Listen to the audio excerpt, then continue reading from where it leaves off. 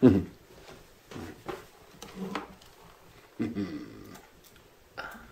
managed to escape again with the corn, so let's keep moving and figuring out where in time we can. Oh no, we're getting pulled into a parallel universe! Curse you, Time Pilots! Why you caught the name of nicest car in San Diego? Oh, Commissar!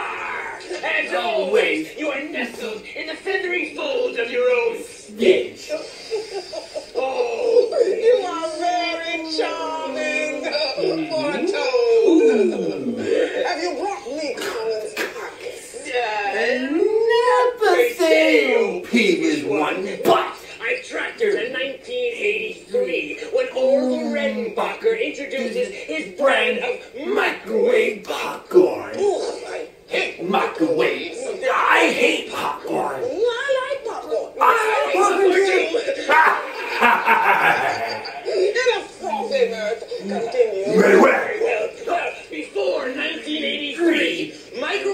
Microwave was sold as a frozen food. Now, folks thought microwave food should be packaged. Continue with your interesting story. oh, thank you. Then, researchers devised a way to package and sell Orville's microwave popcorn unfrozen, right on store shelves. Ooh, how shellfish of them. How shellfish of them. That was a joke.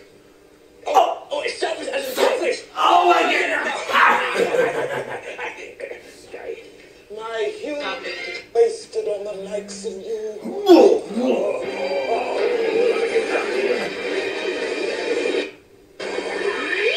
Whoa. That was really weird, guys. Is that Sonny and Cher? Looks a lot like them. Is that Sonny Cher?